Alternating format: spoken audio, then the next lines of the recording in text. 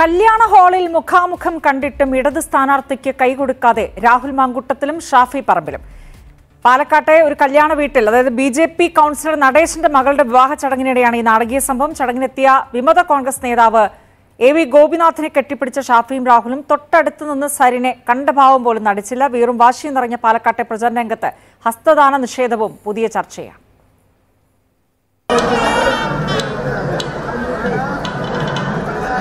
പ്രചാരണ തിരക്കിനിടെ കല്യാണ ഹാളിൽ ആദ്യം എത്തിയത് സരിത് വോട്ട് ചോദിച്ച് പിറകെ രാഹുലും ഷാഫിയും എത്തി. ആൾക്കൂട്ടത്തിനിടയിൽ കോൺഗ്രസ് വിമത നേതാവ് എ വി ഗോപിനാഥിനെ കണ്ടതോടെ ഷാഫിയും രാഹുലും ഓടിച്ചെന്ന് ചേർത്ത് പിടിച്ചു.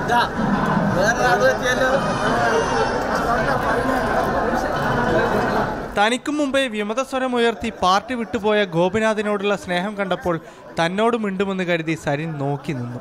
ഇതിന് പിന്നാലെയായിരുന്നു നാടകീയ രംഗങ്ങൾ.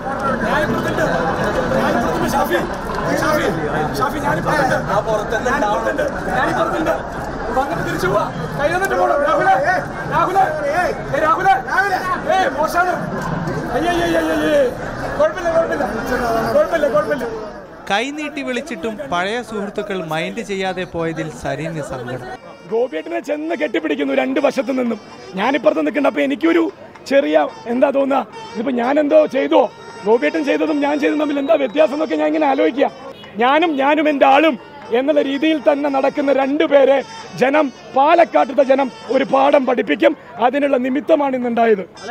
ചാനലുകൾക്ക് മുന്നിലൊന്നും മനസ്സിൽ മറ്റൊന്നും വെക്കുന്ന ശീലമില്ലെന്ന് മുൻ സുഹൃത്തുക്കളുടെ മറുപടി. ഞാൻ കുറച്ച് ആത്മാർത്ഥതയൊക്കെയുള്ള ആളാണ്.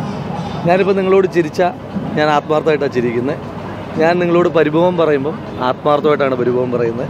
കുലംകുത്തികളെ കൊല്ലുന്ന ഏർപ്പാടിൽ ഞങ്ങളില്ല. കല്യാണവേദിയിലെ പിണക്കത്തിൽ സോഷ്യൽ മീഡിയയിലും രാഷ്ട്രീയ പോര് മര്യാദ ലംഘനമെന്ന് എം പി രാജേഷ് ഷാഫിയുടേത് ഉചിതമായ മറുപടിയെന്ന് വി ടി ബൽറാം.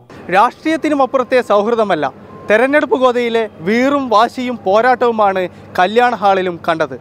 രാജേഷ് തകയ്ക്കൊപ്പം ഹാത്തിഫ് മുഹമ്മദ് ഏഷ്യാനെറ്റ് ന്യൂസ് പാലക്കാട്.